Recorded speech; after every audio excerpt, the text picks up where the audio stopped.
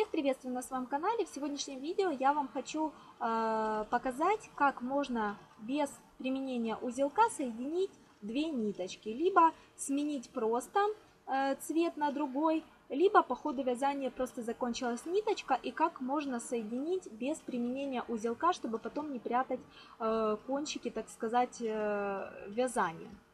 Вот я вам покажу один из, так сказать, способов на толстой ниточке вот так смотрится. Можно сделать гораздо аккуратнее и вот так смотрится на тоненькой. То есть вот эти кончики, которые вы видите немножечко торчащие, их можно еще даже немножечко подрезать. Благодаря вот такому присоединению по ходу вязания этого соединения вообще не видно. То есть я вам сегодня хочу показать на двух нейтральных ниточках, как смотрится вот это присоединение и как его сделать. Для этого вам понадобится иголочка. Вставляете одну из ниточек в иголочку. Вот так вот. И натянув на пальчики вот так вот ниточку, начинаете продевать иголочку сквозь ниточку. То есть вот такими вот легкими, легкими, легкими движениями. То есть вот так вот сквозь ниточку продеваете иголочку. Чем дольше вы будете продевать, тем просто длиннее будет соединение. Я вам покажу, что значит длиннее соединение. Вот, вы продели ниточку, так сказать, вот этот кончик, вот в другую часть ниточки. Смотрите, я вытягиваю. При этом у вас должна оставаться в конце петелечка. То есть вот так вот. Стянули, оставили петелечку. Вот она. У меня она немножечко маловатая. Я могу ее немножечко вытащить, чтобы вам видно было. Вот, петелечка. Отлаживаете в сторону. Берем другой цвет ниточки, либо просто ниточку такую же, но, так сказать, с нового мотка. Снова вдеваем ниточку в иголочку. Затем продеваем ниточку в это колечко предыдущей ниточки. И снова делаем ту же процедуру. Натягиваем на пальчики ниточку и иголочкой сквозь уже новую ниточку протаскиваем вот так вот легкими-легкими движениями иголочки кончик ниточки. Вот так вот.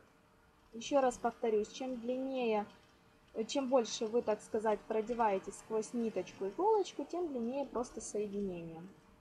И, в общем, вытягиваете вот этот, так сказать, кончик ниточки сквозь, вот так вот, сквозь ваше, э, так сказать, продевание ниточку иголочки. Теперь находим вот эти наши краешки ниточек, которые мы продевали с одной стороны и с другой стороны. Просто начинаем их стягивать. Потихонечку, не спешите. Просто стягивайте до конца. То есть как бы убираете э, вот эти отверстия, которые мы оставляли, сквозь которые продевали.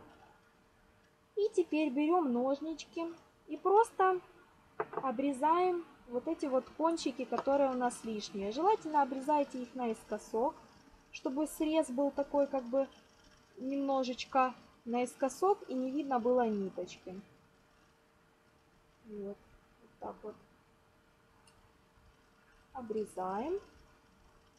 Подправляем немножечко кончики. Можете немножечко подкрутить, так сказать, чтобы оно более тонкое было, оно могло распушиться.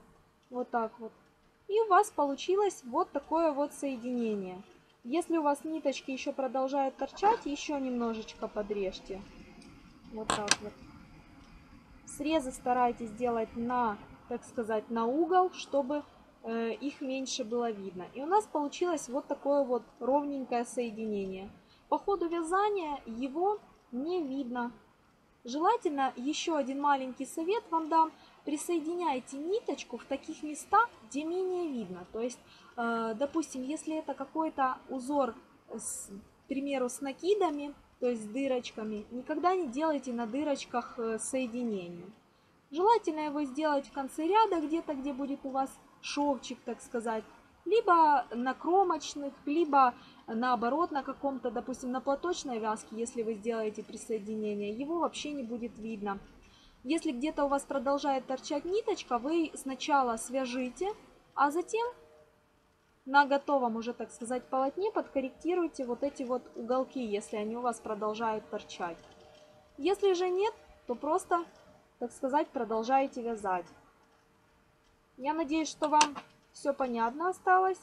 Если понравился мой совет, ставьте лайки, подписывайтесь на мой канал. Пока-пока!